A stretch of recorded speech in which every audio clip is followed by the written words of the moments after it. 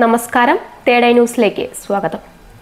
ജനങ്ങൾക്ക് ഇരട്ട പ്രഹരം സംസ്ഥാനത്ത് വൈദ്യുതി നിരക്ക് വർദ്ധിപ്പിച്ചതിന് പിന്നാലെ ജനങ്ങൾക്ക് ഇരുട്ടടിയായി വെള്ളക്കരവും കൂട്ടുന്നു. അഞ്ച് ശതമാനം നിരക്കാണ് വർദ്ധിപ്പിക്കുക. ഏപ്രിൽ ഒന്ന് മുതലാകും പുതിയ നിരക്ക് വർധന. ഇത് സംബന്ധിച്ച് ജല അതോറിറ്റി ഫെബ്രുവരിയിൽ സർക്കാരിന് ശുപാർശ നൽകും. കടമെടുപ്പ് പരിധി ഉയർത്തുന്നതിനായി കേന്ദ്ര സർക്കാർ മുന്നോട്ട് വെച്ച വ്യവസ്ഥ പ്രകാരമാണ് പുതിയ തീരുമാനം. രണ്ടായിരത്തി ഇരുപത്തിയൊന്ന് ഏപ്രിൽ മുതൽ അടിസ്ഥാന താരിഫിൽ അഞ്ച് ശതമാനം വർധന വരുത്തുന്നുണ്ട്. ഓരോ വർഷവും ഇത് തുടരണമെന്നാണ് കേന്ദ്ര നിർദ്ദേശം. കഴിഞ്ഞ ഫെബ്രുവരിയിൽ ലിറ്ററിന് ഒരു പൈസ കൂട്ടിയിരുന്നു. സംസ്ഥാനത്ത് ഇന്നലെയാണ് വൈദ്യുതി നിരക്ക് കൂട്ടിയത്. യൂണിറ്റിന് ശരാശരി ഇരുപത് പൈസ വരെയാണ് കൂട്ടിയത്. പ്രതിമാസം നാൽപ്പത് യൂണിറ്റിൽ താഴെയുള്ളവർക്ക് നിരക്ക് വർധന ബാധകമല്ല. നൂറ് യൂണിറ്റ് ഉപയോഗിക്കുന്നവർക്ക് ഇരുപത് ശതമാനം നിരക്ക് വർധനയുണ്ടാകും.